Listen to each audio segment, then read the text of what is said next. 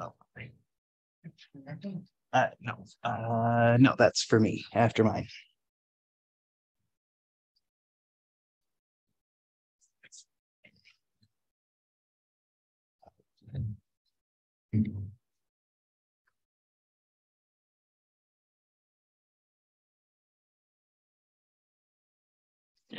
Right. These are my German lessons at the front. So I could do the Du bist mein Schwester, which means you are my sister. But okay, my speech is a little hurt here a lot. Oh, it, uh, oh, oh.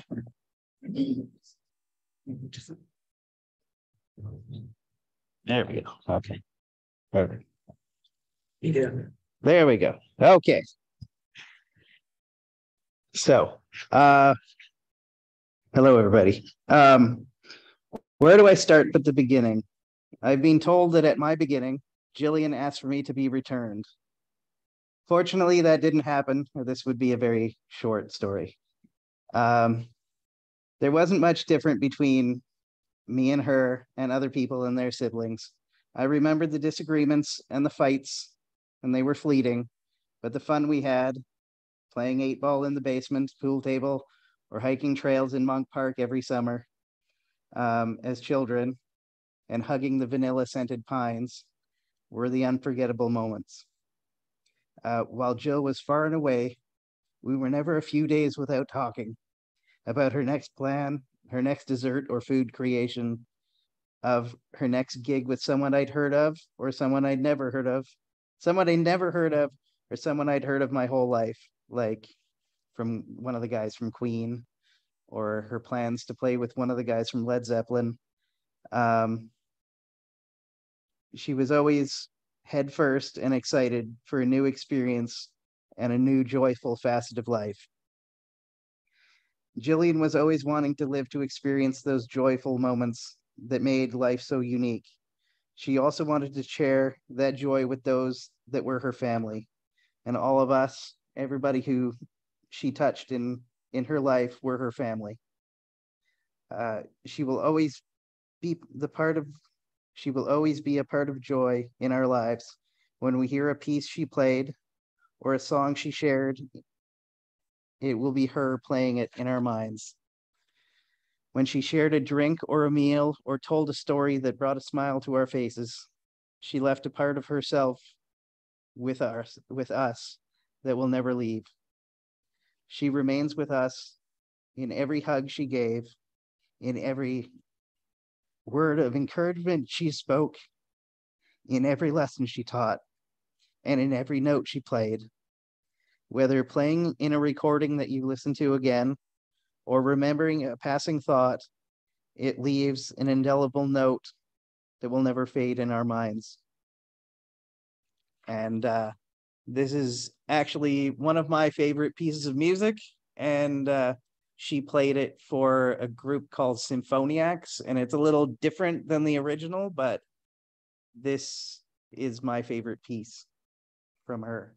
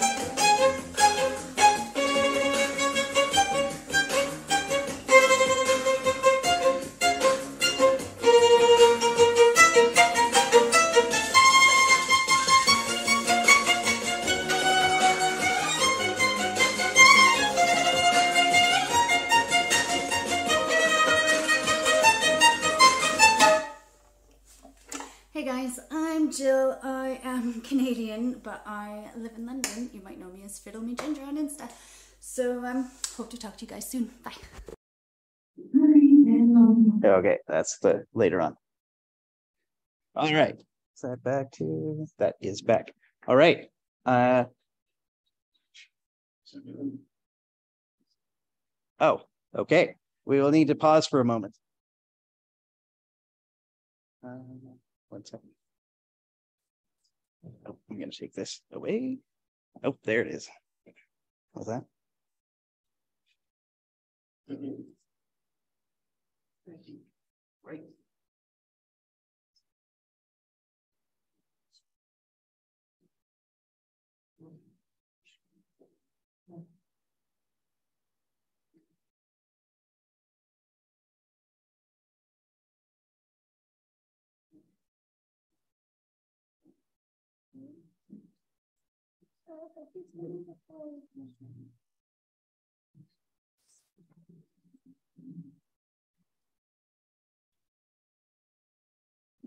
We are in awe of how many wonderful friends that Gillian had made throughout the world. I would like to thank you all for joining us today and her friends who have joined us online to help us remember her. I have two videos that I'd like to share with you. One is a reading that was part of her training to become a wedding celebrant. Please. Hi, and welcome back for this week's installment of Weekly Wedding Words. It's okay if it gets changed. I'm not like married to that. Um, this week's excerpt or reading comes from an Australian author, um, Craig Silvey, who's been twice nominated for some big literary um, awards down in Australia. I just thought I would read you an excerpt from his book Jasper Jones, um, as it's quite lovely as well. Here we go. What I'm feeling, I think, is joy. And it's been some time since I felt that blinkered rush of happiness. This might be one of those rare events that lasts, one that'll be remembered and recalled as months and years wind and ravel. One of those sweet, significant moments that leaves a footprint in your mind. A photograph couldn't ever tell its story. It's like something you have to live to understand.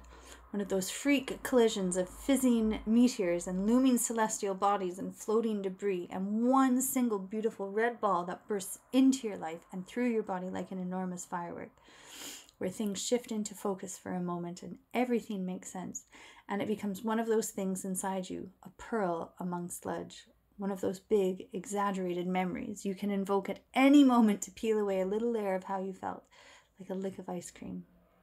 The flavor of grace.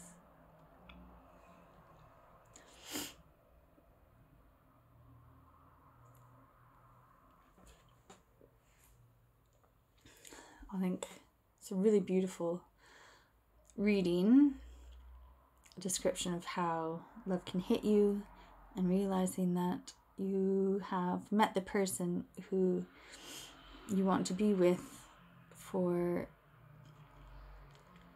the foreseeable future can just hit you like a strike of lightning, a bolt of lightning. Maybe there's Thor. There might end up being a little bit of a um, mythology um, thread through these readings. Um, I do like a bit of Norse mythology. And if it means Chris Hemsworth comes into the picture, then so be it. Let's get sewing. All right. And I hope you enjoyed today's reading, and I will see you for next week's installment of Weekly Wedding Words. All right. Bye. The other was a surprise for us, as she told us that when she was in high school, she was not confident with her singing, so she didn't sing. A couple of years back, she was asked by a client while at a rehearsal to sing backup on a song they were working on. Jill sent us a copy of the last bit of that song. And this is one of my favorite of her. Please. Oh, don't you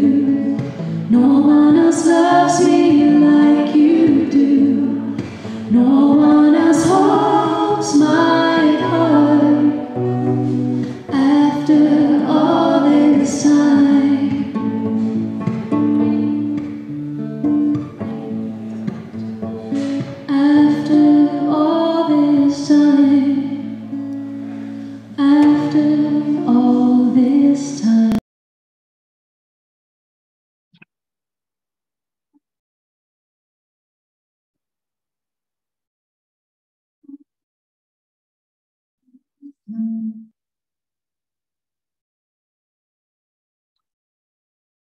August the 18th was a difficult day for our family. It was the last time that we were together. That was the day we said our goodbyes to Gillian. Pauline held Gillian's hand, and a half a world away, Patrick held mine. My last words to her were, Gillian, my beautiful daughter, our child whisperer, please be the wind at our backs when we travel, be the breeze that comforts our soul, be the rain that washes us clean and gives us life, be the sun that gives us warmth to grow. You will always be in our memories. I love you so.